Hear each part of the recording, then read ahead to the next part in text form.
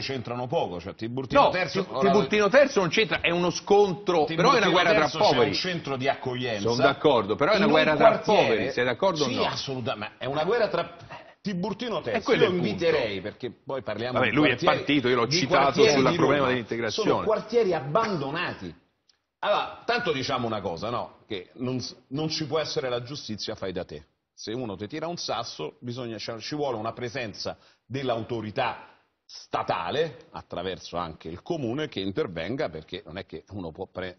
Detto questo, la reazione è una reazione che va condannata in maniera netta e chiara, dopodiché c'è una miccia esplosiva. Cioè io, io a Tiburtino Terzo, ci va- gli abitanti del Tiburtino Terzo sono esasperati, ma sono esasperati i cittadini romani da sette generazioni come quelli che sono arrivati ieri, perché è un quartiere dove non c'è un servizio. Eh, ma tutte le E tu- giunte che c'erano prima, perché poi si Eh. fa presto poi a, di- eh, non è, quello ma il tema a non è- scaricare su il Gigi tema non è- Raggi, il eh. tema non è la Raggi solo, la Raggi Beh, ha le sue responsabilità. L'amministrazione comunale negli ultimi anni ha abbandonato, ahimè, anche le giunte di centrosinistra hanno abbandonato le periferie, non c'è più una politica sulle periferie.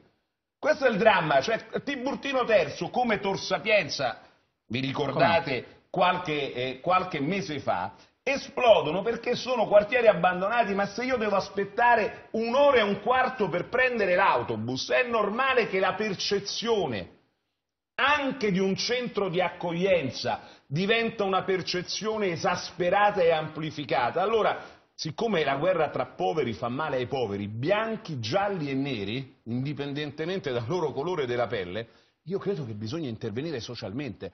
E la sinistra, e lo dico anche, eh, non al PD in questo caso, lo dico anche alla sinistra di cui faccio parte io, quella che sta...